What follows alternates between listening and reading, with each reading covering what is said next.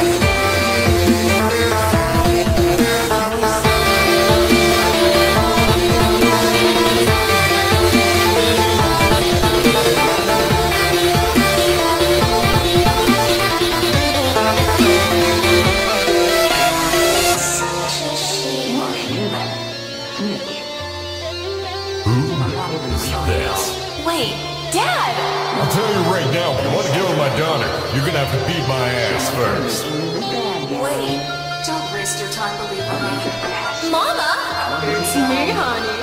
I'm crashing this party.